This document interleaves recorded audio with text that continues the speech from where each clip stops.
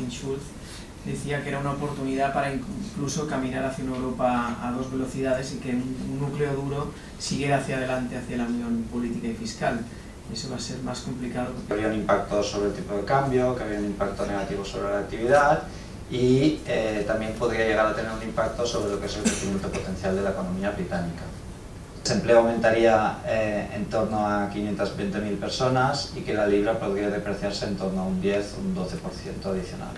Sin embargo, y a pesar de todo este impacto económico, ciertamente yo diría que lo más importante y lo que, tiene más, em, lo que puede llegar a tener más impacto son todas las consecuencias políticas. ¿no? Y sino que me refiero también a consecuencias políticas domésticas, qué pasaría con la figura de Cameron, qué pasaría con el Partido Conservador, eh, qué podría ocurrir con Escocia, etc. Y finalmente, consecuencias domésticas en países de la UE, eh, porque el entorno eh, político, pues el año que viene tenemos elecciones presidenciales en Francia y elecciones también parlamentarias en Alemania y de algún modo el tema del Brexit también podría afectar. ¿no? O sea, la influencia del Reino Unido de los ingleses en lo que es nuestra cultura contemporánea es inmensa. Nosotros no, no, no podríamos definir nuestra identidad sin los ingleses. ¿no? ¿no? ¿Por qué nos hemos de quedar siempre estando en segunda o tercera fila?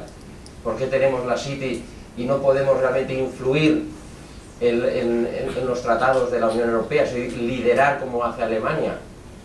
Y simplemente tenemos que asumir los tratados que nos van cayendo de Bruselas, esta burocracia que tanto nos encorseta. ¿no? Aquí no hay ninguna razón cultural, de ciudadanía, de querer ser europeos.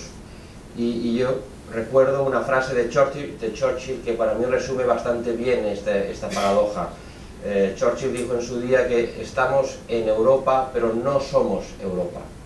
Porque esta es una cuestión básicamente inglesa, mucho más que británica, ¿eh? porque los escoceses evidentemente quieren continuar, los irlandeses que son republicanos, es decir, católicos, quieren continuar, los ingleses, los irlandeses que son protestantes monárquicos quieren salir, en Gales están 50-50, eh, ¿no? Pero es una cuestión básicamente inglesa. Desde... Están hartos de todos los corsés, de todas las directivas, de toda la burocracia que le viene de Bruselas y quieren de algún modo, yo, eh, aunque sean entidades, repito, eh, muy, muy british, pero que pueden tener eh, negocio en el resto de Europa, están muy cansados de, esta, de estas normas que le vienen de Bruselas. Hay dos plazas financieras que quieren arrebatarle cuota de mercado a la City, que son Frankfurt y París.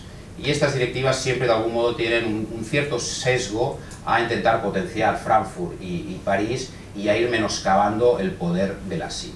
Que nadie sabe. Eh, nadie sabe lo que va a pasar. Sí que es cierto que las encuestas parece que le van dando cada vez más recorrido a la, a la posible salida, pero por ejemplo en las últimas elecciones generales las encuestas fallaron como una escopeta de caña. Es decir, esta campaña continua de que vendrá el, el abismo y a todo muy mal ha hecho que eh, los que querían votar no y estaban con una cierta indecisión, no a la Unión Europea me refiero, han dicho, oye, pues, pues, pues vamos a votar a salir de la Unión Europea el día de mañana, cuando el Reino Unido salga, dentro del Reino Unido no va a haber una lucha muy fuerte entre, como mínimo, los conservadores y los laboristas por cómo se reforman uh, los derechos uh, laborales que a día de hoy siguen estando estándares europeos, está muy equivocado. Es decir, el Partido Conservador, como Xavier nos decía, está dividido desde hace décadas.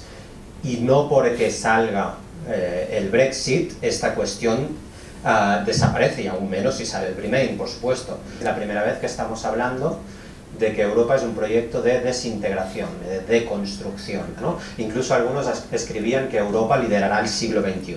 Bien, todo esto es hace 10 o 12 o 15 años, es decir, no estamos hoy para nada en un, una situación similar a nivel de lo que es el proyecto de construcción europea. Um, básicamente el descrédito del, del modelo europeo en el ámbito global, si uno mira el, el ámbito planetario, es mucho mayor de lo, que, de lo que era anteriormente. el problema europeo a día de hoy no es el problema del Reino Unido que se quiere marchar solamente.